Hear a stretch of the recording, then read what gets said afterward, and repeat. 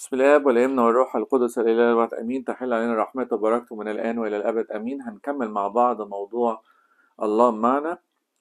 وقفنا المرة اللي فاتت عند نتائج سقوط آدم آه والمقصود بالطبيعة الفاسدة. وقلنا إن النتائج من سقوط آدم إن بقى انفصل الإنسان عن الله وفقد الشركة مع ربنا. وبالتالي حصل ضعف للإنسان أمام الخطية وضعف للإنسان أمام الشيطان واتحكم عليه بحكم الموت وكان لازم يبقى فيه طبيب حقيقي يجي يداوي المرض بتاع الخطية ده وده اللي عمله السيد المسيح في التجسد.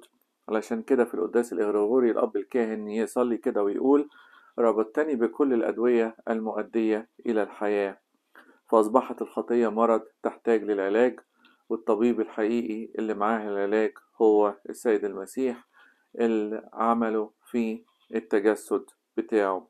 ونيجي في بصلية يوم الاثنين نصلي كده ونقول كمثل طبيب حقيقي ومشفي داويت أمراضنا.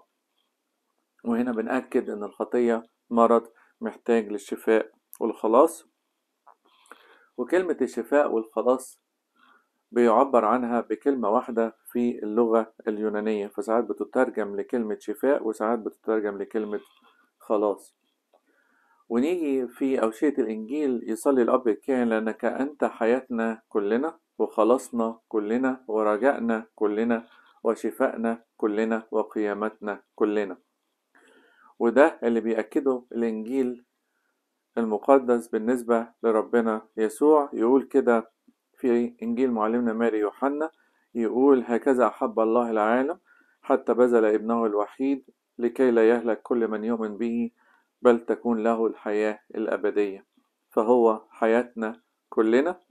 ونيجي في سفر الأعمال نسمع ليس بأحد غيره الخلاص ولذلك هو خلصنا كلنا. وبالنسبة لرجائنا كلنا نقرأ في سفر رسالة معلمنا بولس الرسول إلى أهل أفسس. نقرأ كده ونقول يقول لنكون لمدح مجده نحن الذين قد سبق رجائنا في المسيح. فأصبح السيد المسيح هو رجائنا كلنا. وفي إنجيل معلمنا ماري متى السيد المسيح يقول لا يحتاج الأصحاء إلى طبيب بل المرضى ولذلك هو شفائنا كلنا. وفي رسالة معلمنا بولس الرسول للأهل أفسس يقول أقمنا معه وأصعدنا معه للسماويات فأصبح القيامة بتاعتنا أيضا. فالسيد المسيح هو حياتنا كلنا خلصنا كلنا رجائنا كلنا شفائنا كلنا قيامتنا كلنا. وربنا بيشتهي إن هو يكون موجود دايما مع ولاده مع العالم مع البشرية.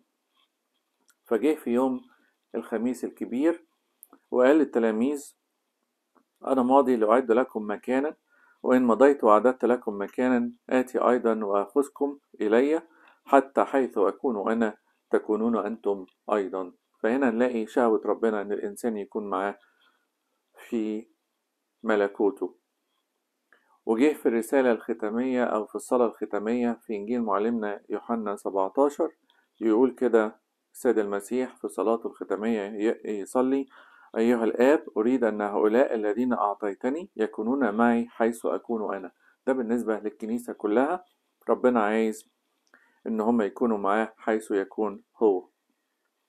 وبالنسبة للمجموعة الأصغر شوية يقول كده في إنجيل معلمنا متى حيثما اجتمع اتنين أو تلاتة باسمي أكون في وسطهم فبالنسبة للمجموعات حتى لو المجموعة صغيرة مش عدد كبير زي كنيسة مثلا لو الاجتماع ده مجتمع فيه الاتنين والتلاتة دول باسم ربنا في كلام ربنا في تعليم روحية تعليم للبنيان يكون ربنا موجود في الوسط. يجي بعد كده بالنسبة بقى للشخص نفسه يجي في إنجيل معلمنا يوحنا يقول إن أحبني أحد يحفظ كلامي. ويحب أبي وإليه نأتي وعنده نصنع منزلا. فالإنسان اللي بيحفظ كلام ربنا ده بيدل على محبته لربنا وربنا يحبه ويجي عنده ويصنع عنده منزلا يعني يقعد معاه ويبقى فيه الحضرة بتاعة ربنا طول الوقت. فده على المستوى الشخصي للإنسان.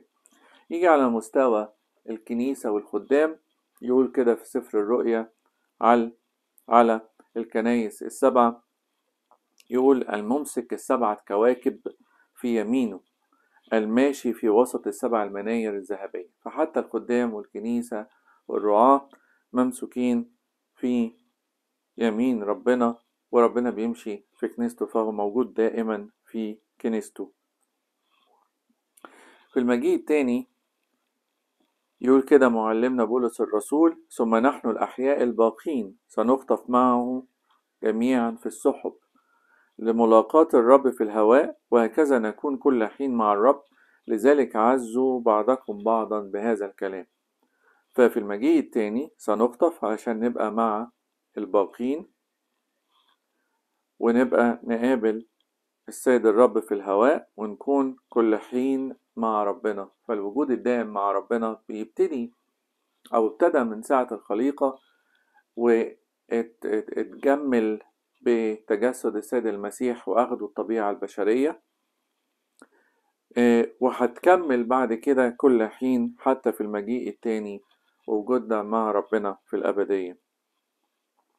وفي الحياة الأبدية سفر الرؤيا يقول لنا كده هوذا مسكن الله مع الناس وهو سيسكن معهم وهم يكونون له شعبا والله نفسه يكون معهم إلها لهم.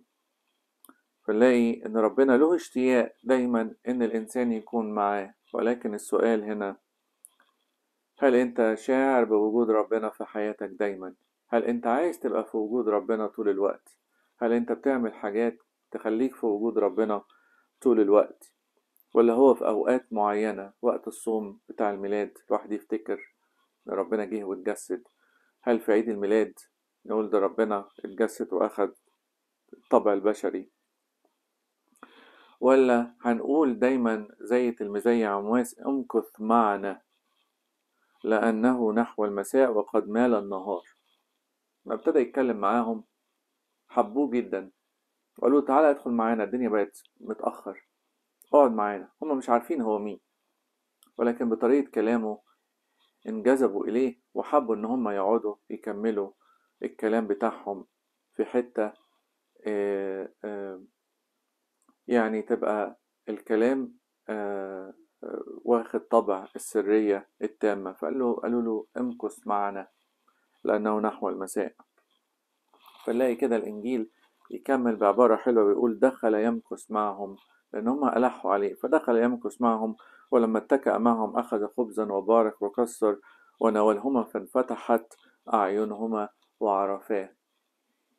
فالتعرف طريقة التعرف على ربنا هو بتناول الجسد والدم وربنا هو نفسه يكشف لهذا الإنسان عن ما يريد. وهل الإنسان ده على الحاجة اللي الإنسان يقدر ياخدها في ياخدها ويفهمها على حسب نمو الروحي علشان الإنسان يشعر بالحضرة الإلهية هي موجودة ولكن يشعر بيها ويكون فيها موجود دايما. لازم أول حاجة في شعور بالإيمان بوجود ربنا والشعور ده مش في وقت الراحة في العالم. ساعات الإنسان لما يكون الأمور كويسة معاه وكل حاجة كويسة يقولك ده ربنا معايا ده ربنا واقف جنبي ده ربنا بيباركني. ويجي في وقت الضيقات يقول عكس هذا. ولكن ربنا بيسمح بالضيقات علشان الإنسان ياخد بما فيها من بركات وأكاليل وفوائد روحية وبتظهر المعدن الطيب بتاع الإنسان إن هو بيحب ربنا بجد مش بيحب ربنا بس في ساعة لما الأمور تبقى كويسة. وبعدين بياخد خبرة روحية إزاي يتحارب مع الشيطان وكل المكايد بتاعته. وبعدين في الآخر ينال حاجة حلوة وهي التزكية والتقوية وإن هو في الآخر يكون مع ربنا في ملكوت السماوات. فكان أسعد وجود أسعد وقت للص اليمين كان وجوده وهو متعلق على الصليب مع السيد المسيح وكان بيتكلم معاه. ولكن ما كانتش فرحة اللص اليمين في اللي هو كان بيسرق ولكن دي كانت وسيلة هو خدها لحياته وكانت وسيلة غلط ولكن أسعد أوقاته هو الوجود في حضرة ربنا وهو مصلوب على الصليب. ولذلك يقول مثلث الرحمات البابا شنودة لا تجعل الضيقات تحطمك بل حطمها أنت بإيمانك. لا تجعل الضيقات تحطمك بل حطمها أنت بإيمانك. السؤال اللي بعد كده هل أنا بشعر بوجود ربنا دايما في حياتي ولا هو مؤقت في أوقات معينة زي ما إحنا قلنا ولا هو وجود دائم؟ أحبائي لازم الإنسان يعتبر وجود ربنا في حياته وجود دائم. ربنا سيد المسيح كده قال لتلاميذه ها أنا معكم كل الأيام وإلى انقضاء الدهر. محددش وقت معين إن فيه يكون حاضر مع تلاميذه وأولاده ولكن قال لهم ها أنا معكم كل الأيام وإلى انقضاء الدهر. ويترجم معلمنا بولس الرسول الوجود الدائم ده يقول كده لكي أحيا لا أنا بل المسيح يحيا فيا. يعني الترجمة العملية بتاعتها مش بس إن ربنا يكون موجود معايا ولكن أنا حاسس وشاعر إن ربنا فيا دايما. وده كان شعور معلمنا بولس الرسول. علشان كده الإنسان لازم يدرب نفسه وحواسه الروحية إن هو يبتدي يشعر بوجود ربنا الدايم. التدريبات ممكن تكون كل ما الإنسان يفتكر ربنا يرفع قلبه في الأول بصلاة يسوع. علشان يبتدي يتدرج في معرفة ربنا. ولو هو ما عندوش شعور من الأول بوجود ربنا دي مش مشكلة لأن ربنا بيشتغل مع حتى الإنسان اللي هو ما عندوش شعور كامل بوجود بوجوده في حضرة ربنا. ولكن لازم الإنسان يكون عنده استعداد. يعني مثلا القديسة مريم المجدلية ما أدركتش وجوده وظنت إن هو البستاني ولكن ربنا ابتدى يشتغل معاها شوية بشوية لغاية لما عرفته بالتدريج وقالت له ربوني أي يا معلم. المولود أعمى نفس الحكاية افتكر في الأول إنه الإنسان اللي خلاه يفتح وخلق له عين كان إنسان بار أو نبي. ولكن لما ابتدى يتكلم مع ربنا وربنا جاله وابتدى يتكلم معاه شوية بشوية ابتدى يعرف وابتدى يسأل ربنا مين هو يا رب عشان أؤمن به فقال له هو اللي بيتكلم معاك. فأخيرا المولود أعمى آمن بربنا وسجد له. زي ما الإنجيل قال لنا في إنجيل معلمنا ماري يوحنا. فربنا اشتغل مع المولود أعمى بالتدريج ونفس الحكاية في قصة السامرية لما اتكلم معاها السيد المسيح. وابتدى ياخدها من الخطية وابتدى يعرفها شوية بشوية بنفسه. ولكن ما يكفيش إن ربنا يحاول يخلي الإنسان يتعرف عليه ومش كفاية إن الإنسان يكون عنده إرادة ولكن الأعمال بتاعت الإنسان أيضا لازم تكون ماشية في طريق إن هو عارف إن ربنا موجود معاه دايما. نلاقي إن الكنايس السبعة في آسيا اللي اتكلم عليهم في سفر الرؤيا للأسف مع إنهم كانوا كان ربنا ممسك بيهم وكانوا في يمينه إلا إنهم كان كل واحد فيهم كان عنده مشكلة وربنا ابتدى يعمل له هايلايت عليها. فجه لملاك أفسس كده واتكلم ليه وقال له عندي عليك إنك تركت محبتك الأولى. فاذكر من أين سقطت وتب طب ده أنا هذا الشخص في يمين ربنا. ربنا ممسك بيه وفي يمينه. ولكن مع كل ده هذا الإنسان أو هذا الملاك يعني ال ال الأسقف بتاع كنيسة أفسس حاسس مش حاسس بوجود ربنا في حياته فأخطأ. نفس الحكاية لملاك كنيسة لودوكيا قال كده؟ إيه؟ أنا عارف أعمالك أنك لست حارا ولا باردا. هكذا أنا مزمع عتقياك من فمي. لأنك تقول إني أنا غني ولست تعلم أنك أنت الشقي والبائس وفقير وأعمى وعريان. يا يعني ممكن الإنسان يكون فاكر إن هو كل الحاجات كويسة فيه ولكن قدام ربنا ربنا له منظر تاني لهذا الشخص فربنا يقول له كده إيه؟ فكن غيورا وتب. جه لملاك كنيسة سردس قال كده إيه؟ لك اسما إنك حي وإنك وأنت إيه؟ ميت. من بره ال ال ال الحاجات اللي الإنسان بيعملها من خدمة أو من آه، آه، طقوس دينية أو من صلوات أو أو بتبين إن هو إنسان حي ولكن من الداخل القلب إيه؟ ميت. فكان كل واحد من الملائكة دول أو من الاساقفة دول كان واضح إن هو حتى لو الإنجيل بيقول عليه إن ربنا ممسك بيه وهو في يمين ربنا ولكن هو بيبعد بطريقته وبأفعاله عن ربنا. فالإيمان بوجود ربنا ده واحد. الأعمال بتاعت الإنسان دي لازم تبقى نمرة اتنين. ولازم يصحب الوجود في حضرة ربنا دايما. لو الإنسان فعلا حاسس بحضرة ربنا في حياته على طول بيبقى عنده خشوع. وده اللي حصل في قصة يشوع النبي لما أحس إن هو أمام جند ربنا. فيقول الكتاب كده إيه؟ سقط على وجهه إلى الأرض وسكت وسجد. سقط على وجهه إلى الأرض وسجد وقال له بماذا يكلم سيدي عبده؟ حس إن هو موجود في حضرة ربنا فسجد على الأرض. وقال لرئيس جند الرب إيه قال له إيه بماذا يكلم سيدي عبده؟ نفس الحكاية في قصة موسى النبي والعليقة اللي هو شافها. برضو حس برهبة هذا المكان وخلع نعل رجليه الحاجة التالتة والمهمة جدا إن لازم الحضور الإلهي مع الإنسان يكون يحفظ في سرية. يعني لازم الإنسان يغلق الباب باب بقه إن هو يقول الحضور الإلهي في حياته شكله إيه. لأن دي حاجات أسرار داخلية محدش يعرفها محدش المفروض يعرفها ودي حاجة بين الإنسان وربنا. ففي فترة الأربعين يوم بعد القيامة اللي قضاها السيد المسيح مع التلاميذ ما تسجلتش منها المشاعر والأحاديث اللي حصلت ولكن اللي تسجل منها كان الشكوك والضعفات بتاعة الآباء التلاميذ.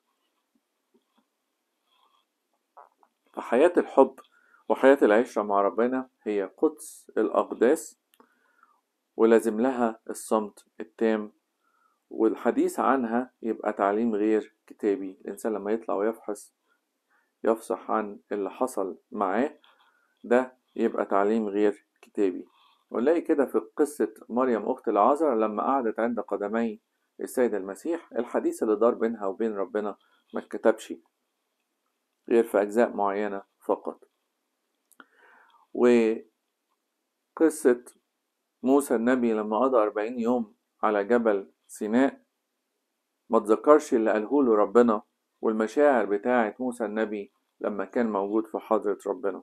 ولكن اتكلم على حاجات خاصة هتتعمل بعد كده وهي خيمة الاجتماع لوجود ربنا الدائم ويكون رمز ومثال لوجود وحضور ربنا الدائم في حياة ولاده. لكن موسى النبي ما اتكلمش عن مشاعره الخاصة ما اتكلمش على لقائه الخاص ما اتكلمش على الكلام الخاص اللي بينه وبين ربنا أبدا. نفس الحكاية في حياة أخنوخ مع ربنا. اتكتب كده في سطر صغير وصار أخنوخ مع الله. طب إزاي صار أخنوخ مع ربنا؟ محدش يعرف. طب كان بيعمل إيه أخنوخ علشان يفضل مع ربنا؟ محدش عارف. طب أخنوخ أنت حياتك أنت كنت بتشعر بإيه وأنت في وجود حضرة ربنا وربنا حاضر قدامك على طول؟ محدش يعرف. ولم يوجد لأن الله أخذه فأنا بنتكلم برضو على أخنوخ ودي كانت حياة أخنوخ في في كلام بسيط جدا. قديسة العذراء مريم نفس الحكاية ما اتكلمش عنها كتير وهي ما اتكلمتش عن نفسها كتير عن مشاعرها وهي في الهيكل عن كلامها مع ربنا في صلاتها الفردية في الهيكل عن حياتها في بيت يوسف النجار عن حتى أيام خدمتها مع أليصابات مع حتى أيام خدمتها مع السيد المسيح. طب هي كانت حاسة بإيه لما ولد السيد المسيح في مزود البقر وكان الموضوع شاق عليها إنها تذهب لبيت لحم؟ كل الكلام ده. التفاصيل بتاعة المشاعر كانت تفاصيل داخلية ولم تبرح بيها الست العذراء لأحد علشان كده كتب عنها في إنجيل معلمنا ماري لوقا وكانت تحفظ كل هذه الأمور متفكرة بها في قلبها. فالصمت مش الكلام هو اللي بيليق بالروحيات والحب الإلهي والعشرة مع ربنا. وبرضه نلاقي إن في حياة الآباء القديسين صمت التاريخ عن الكتابة بتاعة التأملات بتاعة القديس الأنبا بولا أول السواح في خلال فترة 80 سنة. كان عايشها القديس الأنبا بولا أول السواح في مغارته لا يرى فيها وجه إنسان فأكيد كان بيتكلم مع ربنا كان في أحاديث كتير طبعا 80 سنة ده عمر لوحده ولكن لم يكتب منها شيء لأنها كانت قدس أقداس حياة الأنبا بولا مع ربنا. التلاميذ برضو صمتوا في خلال الأربعين يوم ولكن اتكلم كده في الإنجيل وقال كلمهم بالأمور المختصة بملكوت السماوات. وده علشان نشوف بعد كده إن حياة التلاميذ بعد الأحاديث بتاعة الأربعين يوم ولو إنها لم تكتب وتدون لكن وصلت لنا عن طريق أو شوية منها عن طريق التقليد بتاع الكنيسة وحياة الآباء الرسل نفسهم في حياتهم ترجمت الحاجات دي لأفعال مش لكلام. ولكن المشاعر مش معروفة لأن محدش اتكلم عليها محدش كتب عنها. فيجي السؤال اللي بيبقى في ذهن كل واحد فينا طب ليه ما كتبش الناس دي عن اختباراتهم الروحية في حضور الله الإلهي معهم؟ علشان نبتدي نتعلم ونعمل زيهم. فالإجابة تكون في منتهى البساطة عيش زيهم وتتعلم إيه اللي هم أخفوه. فمثلا اجلس عند قدمي المسيح زي ما جلست مريم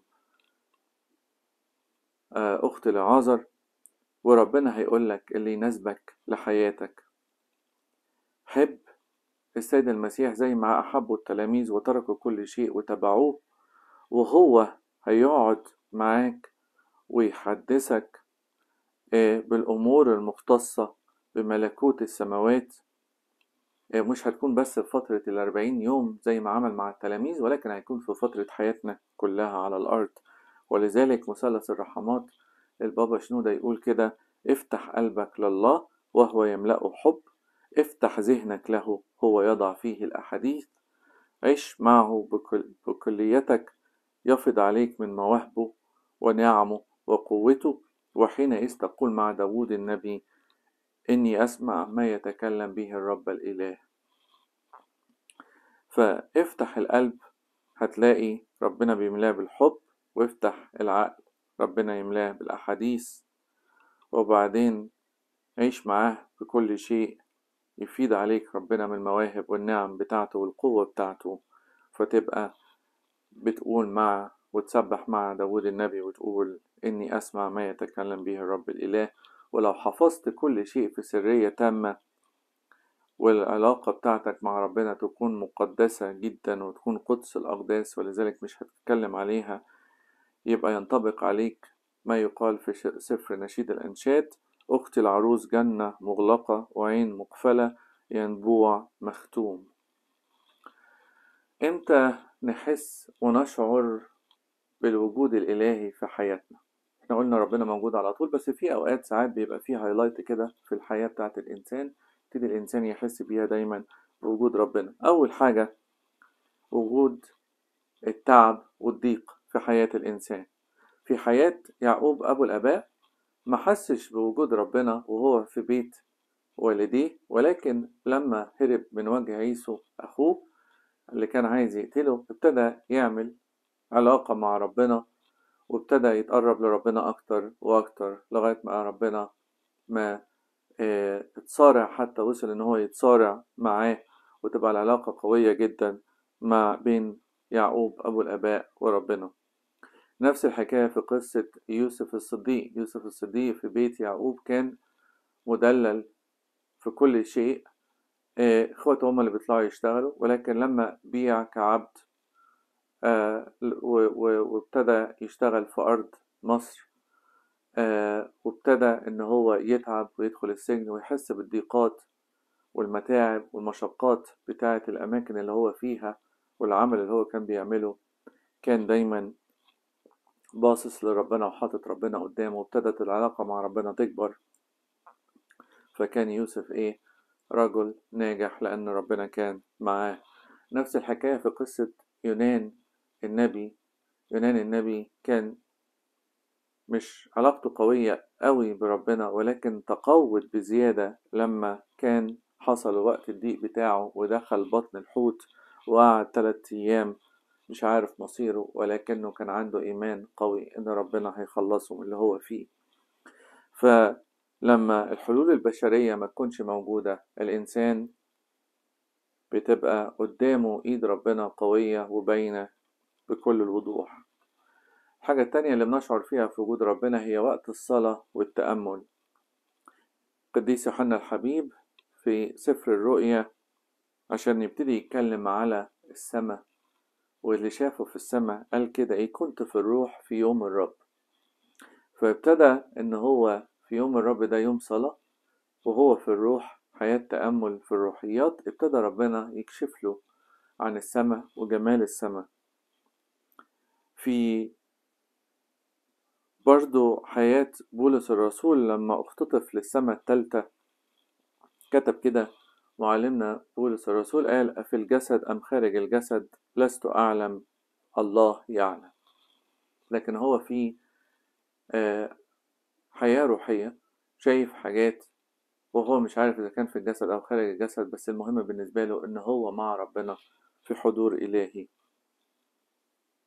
فبيلتصق الإنسان بربنا في الحضور الإلهي وتتلامس روح الإنسان مع ربنا في هذه الحضرة المباركة.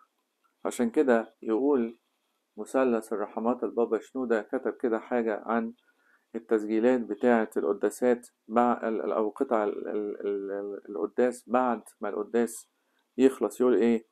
لا تحاول تسجيل أجزاء القداس بعد القداس. لأن هيكون ده تسجيل لحن وليس روح. هناك جو روحي من حيث الاستعداد لهذه الخدمة المقدسة والاستعداد للتناول وهبة الهيكل والمذبح والذبيحة وجو البخور والصلوات والقيام الفعلي أمام الله.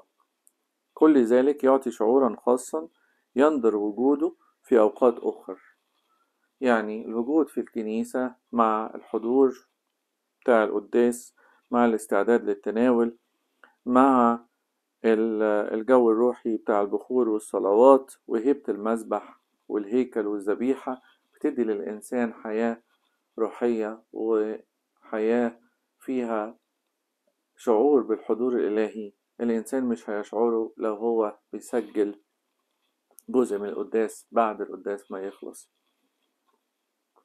وعشان كده في فرق شاسع جدا الإنسان بيحسه بسمعه للقداس في البيت وحضوره والصلاة بتاعه في القداس في وجوده في الكنيسة نفسها. مختلف المشاعر تختلف تماما. في البيت ممكن يكون مشغول بحاجة مش مركز مش واقف مش مستعد للتناول مفيش تناول وهكذا. فالروح اللي موجودة مش روح صلاة ولكن روح سمع. عشان كده بنسمع القداس في البيت ونصلي القداس في الكنيسة. حاجة تانية في إن الإنسان يحس بوجود الله وحضوره في الصلاة والتأمل يقول كده مثلث رحمات البابا شنودة يقول كده إيه في وقت الصلاة والتأمل بيشعر الإنسان بالله يملأ قلبه ويشعر بأن الله يحيط به كما يشعر أنه واقف أمام الله يكلمه. ويشعر أيضا بأن الملائكة حوله وبأن أرواح القديسين أيضا تحيط به وبأن روح عميقا في داخله يعطيه ما يقول. كل الحاجات دي بتحصل للإنسان اللي بيصلي. لهذا اجتماعات الصلاة ليها قوتها وتأثيرها ولهذا كانت لليالي الصلاة وسهراتها فعالية عميقة داخل النفس وقوة غير عادية. هنا يشعر الإنسان بالعزاء بالفرح بالسلام ويشعر باللذة بلذة البقاء في الصلاة وأنه يود لو كانت الصلاة لا تنتهي. وكما قال أحد الآباء عن الصلاة ومن فرط حلاوة الكلمة في أفواههم ما كانوا يريدون ينتقلوا منها إلى كلمة أخرى في صلواتهم ومن هنا كانت الصلاة الدائمة. فنلاقي يا أحبائي الصلاة في الكنيسة وحضور القداسات وحضور التسابيح والصلوات دي حاجات بتشعر الإنسان بوجوده مع ربنا دايما وياخد الروح دي ويطلع بعد كده يشتغل بيها في حياته الروحية ويبقى فيه بعد كده صلاة في المخدع. ولكن للأسف روح الصلاة دي ابتدت تخف شوية من عندنا. يعني نلاقي الكنيسة مكتظة بالناس جدا في أوقات الأعياد وصلوات قداسات الأعياد وفي صلوات تسبيحة كياك وممكن في ليلة أبو غلمسيس ولكن في بقية التسابيح اللي بتتصلى بيها الكنيسة كل كل يوم وكل أسبوع في الكنيسة نلاقي إن الأعداد صغيرة. وفي فترة العشيات لما كانتش من ضمن صلوات قداس عيد نلاقي الكنيسة ما فيهاش ناس كتير. للأسف ده بيضعف حياتنا الروحية لأنها لازم تكون بادية من الكنيسة وبعدين تنتقل بعد كده لحياتنا الداخلية في, في بيوتنا وفيها الصلاة مع ربنا. ونفس الحكاية لاجتماع الصلاة لما نلاقي فيه الناس اللي موجودة أربعة أو خمسة بالكتير للأسف ده بيضعف الحياة الروحية للأشخاص مش للكنيسة الكنيسة دايما قوية بألحانها وبروحها وبصلواتها ووجود ربنا فيها ولكن الإنسان اللي ما, بي ما بياخدش الوسائل دي كلها وسائل وسائط النعمة اللي ربنا حاططها في كنيسته علشان الإنسان يوصل يبقى معاه في آآ آآ يبقى عنده مشاعر قوية جدا بحضور ربنا في حياته للأسف إنسان الإنسان هو اللي بيخسر. ولكن يعني ياريت إن إحنا نهتم شوية بحضور التسبيحة اليومية والأسبوعية اللي بنصلي فيها في الكنيسة وحضور العشيات دايما والقداسات من بدري علشان نحس بحضرة ربنا في حياتنا. وبعد كده ينتقل الشعور ده للحياة الدايمة مع ربنا برا الكنيسة. وفي نفس الوقت مش بس في أوقات الصلاة ولكن في الأماكن المقدسة لو واحد راح لدير لو راح للكنيسة والكنيسة هادية وقعد فيها بيحس بجو مختلف وبيشعر بوجود ربنا وإن ربنا ده ضابط الكل والمشاكل اللي عنده كلها لا شيء قدام قوة ربنا. عشان كده نلاقي إن الإنسان الروحاني يقول مع داود النبي كده مساكنك محبوبة أيها الرب إله القوات تشتاق وتذوب نفسي للدخول إلى ديار الرب. قلبي وجسمي قد اتهج بالإله الحي. ويقول كده مذابحك أيها الرب إله القوات ملكي وإلهي طوبى لكل السكان في بيتك يباركونك إلى الأبد. فالإنسان اللي عارف محبة ربنا ليه وشاعر بحضور ربنا في حياته يبقى على طول عنده مشاعر الحب إن هو يتلاقى مع ربنا. وأحلى مكان يتلاقى فيه مع ربنا هو مساكن ربنا المحبوبة إلى قلب هذا الإنسان وديار بيت ربنا اللي بيباركوه فيها على طول في الصلوات والقداسات والعشيات والتسابيح ويكون الإنسان حياته كلها صلاة زي البابا كرولوس ويكون الإنسان نفسه بياخد الحياة الجماعية اللي فيها صلاة في الكنيسة ويبقى هو على طول دايم الصلاة مع ربنا لأنه حاسس بوجود ربنا في حياته دايما. فكتر ما نحضر القداسات والتسابيح والاجتماعات الروحية والصلوات الروحية اللي فيها بتجمعنا كلنا جسد المسيح الواحد بنرجع بعد كده نحس بوجود ربنا دايما في حياتنا. ويجي آخر نوع من الأنواع اللي الإنسان يشعر فيها بوجود ربنا إن هو في وقت لا يعلمه وقت هو مش محضر له ودي تبقى زيارة زيارة نعمة من ربنا لهذا الشخص وما فيهاش إعداد من الشخص نفسه ولكن دي عطية من ربنا ونعمة من ربنا بيديها له. زي ما كده ربنا قال إن ملكوت الله لا يأتي بمراقبة والروح يهب حيث يشاء. فنلاقي كده مقابلة موسى النبي مع ربنا في العليقة ما كانتش معمول لها حساب. نلاقي كلام ربنا ودعوته لصمويل النبي لما كان طفل ما كانش معمول لها حساب. نلاقي كلام ومقابلة رب آآ آآ السيد المسيح مع شاول الطرسوسي وهو في طريقه لدمشق. وبعد كده بقى بولس الرسول برضه ما كانش معمول لها حساب من شاول الطرسوسي ولكن تقابل مع ربنا. ولكن لما تشعر إن في حاجة زي كده زيارة للنعمة سواء بقى بوعظة سمعتها سواء بصلاة أنت صليته سواء بقداس حضرته في الكنيسة سواء بكتاب روحي قريته ووصل لك روح معينة فياريت ما نطفيش الروح. يعني نقول نعمل نقوم نعمل بيها حاجة على طول علشان ما نطفئش الروح. وبعدين زيارة النعمة دي هتفضل تلح عليا. ولو فضلت أنا مش سامع لها مش بس هطفي الروح ولكن هحزن الروح. فأول درجة هي طفي أو انطفاء الروح اللي جوايا. تاني حاجة الروح يحزن.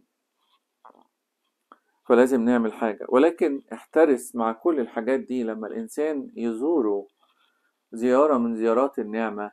يحترس دايما إن الزيارات دي ما تخليهوش إنسان متكبر في حياته. لأن وجوده في الحضرة الإلهية بيتناسب معاها التواضع جدا وانسحاق القلب والشعور بعدم الاستحقاق إن هو ربنا شاف أو إداله نعمة الحضور إن هو يحس بحضوره مع ربنا. ومع الانسحاق والتواضع بيدي ربنا الإنسان أكتر وأكتر لأنه يعطي المتواضعين نعمة. عشان كده مثلث الرحمات البابا شنودة يقول كده على الحضور الإلهي يقول وكلما تجد نفسك مع الله قل إنه من أجل احتياجي سمح الرب أن يفتقدني بنعمته. وليس بسبب استحقاق إنه ليس بجهدنا نكون مع الرب إنما بحنانه وجوده. يعني كل ما يبقى عندك زيارة النعمة دي ما تفكرش إن أنت أحسن من الناس أحسن من إخواتك ولكن زيارات النعمة معناها إن أنا إنسان محتاج ربنا بينظر إلى احتياجي وعن طريق بيفتقدني بنعمته و بيعطيني زيارة النعمة دي لأنه حنون عليا ودي من نعمه والفضايل بتاعته آه وإنه بيديني آه هدية من إيده إن أنا أكون دايما حاسس بحضوري في الحضرة الإلهية وليا شركة مع ربنا في حياتي. ربنا يدينا دايما هذا الإحساس إن إحنا دايما نحس إن إحنا في الحضور الإلهي وإحنا دايما مع ربنا. في كل أوقات حياتنا آه ونبتدي إن إحنا نتعامل مع وسائط النعمة إذا كانت حضور القداسات والتناول من جسد الرب ودمه أو بصلوات الكنيسة إن دي كلها وسائط وسائل نعمة يستفيد بيها الإنسان في حياته الروحية وتنعكس بعد كده على وجوده الدائم في حضرة ربنا. ربنا يعطينا دايما أن نسمع ونعمل ما يقول الروح للكنائس. لإلهنا كل مجد وكرامة من الآن وإلى الأبد. آمين.